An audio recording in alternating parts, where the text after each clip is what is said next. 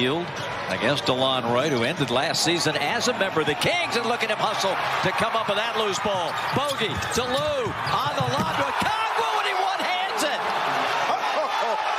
well, right now the this dunk, Dominique Wilkins. This had to bring back some memories. Oh my goodness!